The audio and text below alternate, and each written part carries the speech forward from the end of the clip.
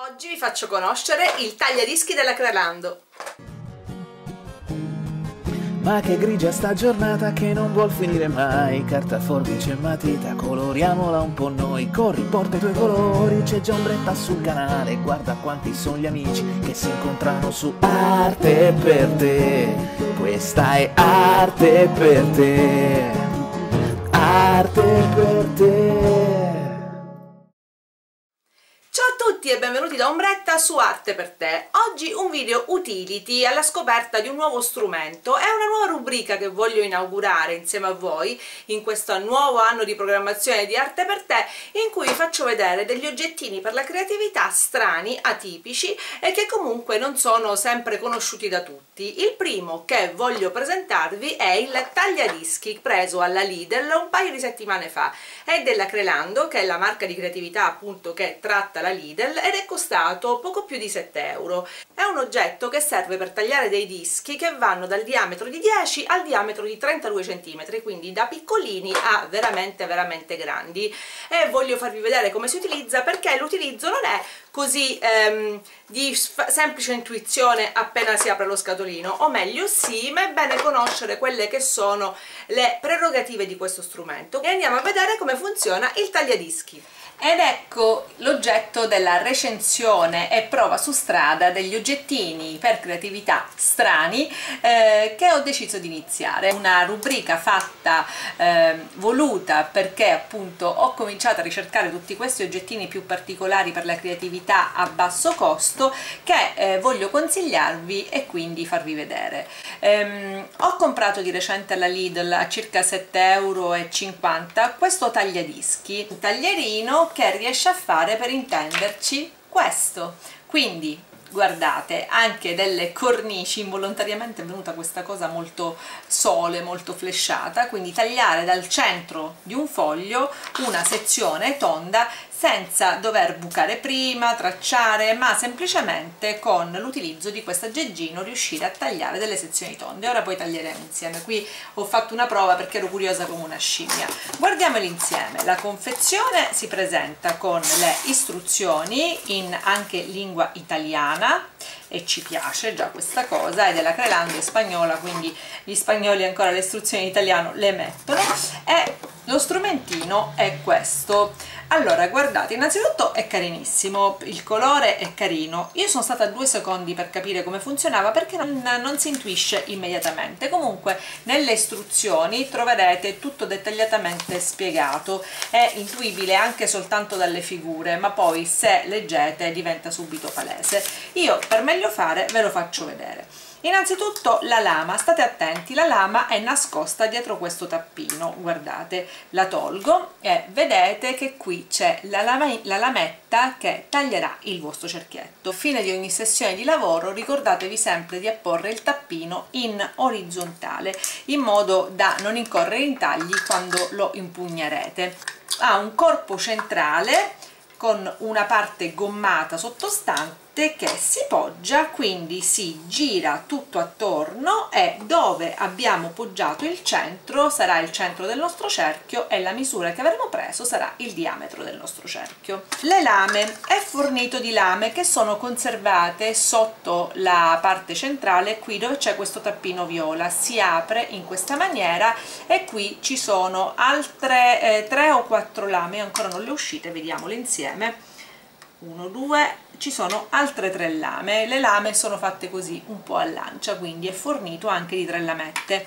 Anche perché sinceramente io non saprei dove riprendere le lamette una volta che queste finiscono. Per cambiare la lama cosa bisogna fare? bisogna svitare il tappino superiore il cursore che scivola che è a vite come vedete togliere quest'altro pezzo quindi prelevare la lamina da questa fessura e sostituirla con una nuova. Quindi rimetterla vi faccio vedere il montaggio si mette la lama si mette l'aggeggino qui dentro al suo vano contenitivo il tappino con il segna centimetri a due eh, fessure all'interno di una delle quali deve essere alloggiata la lama quindi si avvita ok io voglio che il mio cerchio abbia un diametro di 16 cm quindi punterò sul 16 e adesso proviamolo via via con materiali sempre più pesanti. Partiamo dalla carta quella per stampante per fotocopiatrice diciamo così. Fissiamo bene al centro con la robina siliconica e vi conviene eh, fissare anche il foglio di carta. Io ho dimenticato di prendere lo scotch quindi non mi rialzerò e traccerò il mio cerchio così. Ok vediamo se ce l'ha fatta. Ok gira gira gira. Beh con la carta direi che funziona egregiamente. Adesso passiamo allo step successivo. Cartoncino che tra l'altro io piegherò in doppio perché mi serve per fare una card insieme a voi. Voi ancora non lo sapete ma faremo una card insieme. Quando voglio creare una card quindi un qualcosa che abbia un'apertura al libretto faccio in modo che puntando l'ultimo millimetro diciamo così che segna, quindi i 16 andranno leggermente fuori la sponda doppia, quella unita, non quella aperta, quella unita, in modo che si crei un margine che faccia appunto aprire al libretto il, la, il nostro cerchio. Adesso però state attentissimi a non muovere più la carta, quindi sdraiatevi di sopra, insomma vedete voi, ma non muovete più la carta ok fate una passata. Una doppia passata. Col cartoncino sfrangia un po' come vedete però lo taglia. E voilà! Ce l'ha fatta anche col cartoncino. E guardate la card si può dire è pronta e pulita in un attimo. Poi togliamo la barbetta di carta che si viene a, a formare comunque il bordo rimane molto molto pulito. Adesso però voglio provare perché non sono mai contenta col cartoncino ondulato. Con il cartoncino ondulato voglio fare il diametro farlo diventare di 18 centimetri. Quindi aprirò un po' di più. E allora giro giro.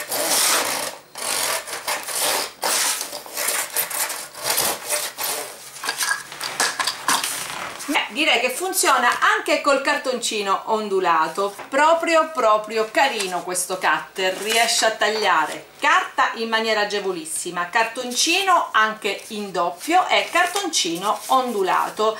Quindi questo cartoncino che ho tagliato in doppio ha uno spessore 270 grammi quindi è un bel cartoncino pesante eh, ed è riuscito agevolmente a fare il taglio bene quindi che dire? Lo consiglio? Sì è un oggettino carino che può aiutare soprattutto quando abbiamo molte card da fare o quando dobbiamo lavorare in serie uno, di, uno dietro un altro per le maestre mi raccomando chiudete sempre il tappino di protezione mantenetelo sempre in buono stato e io vi consiglio di tenerlo sempre nello scatolo se avete bambini in giro perché sono lamine insidiose davvero possono anche essere ingerite quindi tenetelo fuori dalla portata dei bambini in alto ben custodito e sarà un simpatico alleato per la vostra creatività. Ci vediamo di là che ho ancora qualcosina da dirvi Visto che è comodo questo strumento, soprattutto quando dobbiamo tagliare dei dischi al centro di un foglio, immaginate un cartoncino eh, 100x70 di uno spessore abbastanza alto che con le forbici dovremo incuneare in qualche maniera e spingere, quindi un po' ammaccare,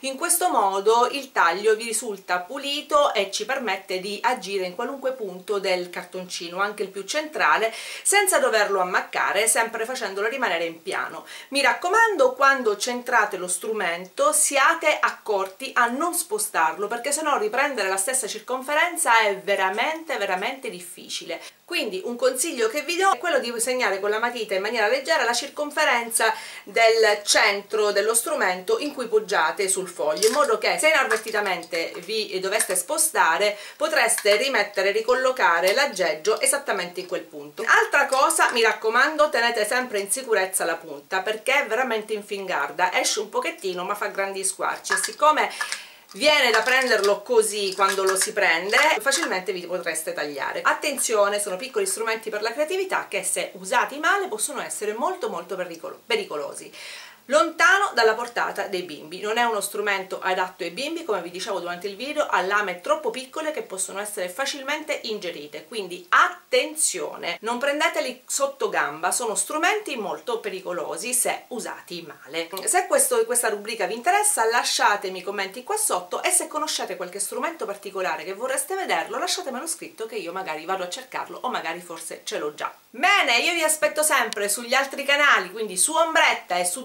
2 una K, grazie a tutti i nuovi iscritti, siete tantissimi, sono felice di avervi nella grande famiglia creativa di Arte per Te, grazie ai vecchi iscritti che sono sempre così gentili, presenti, buoni con me, quindi un bacio a tutti voi e noi ci vediamo se vorrete anche su Facebook, su Instagram o sugli altri social, trovate tutto qua sotto nel box informazioni, leggetelo il box informazioni, mi raccomando, e adesso tutti a tagliare dischi e cerchi di tutte le dimensioni, bene, forse è meglio che ci vediamo al prossimo video, da Ombretta e da Arte per te è tutto, alla prossima volta ragazzi, ciao!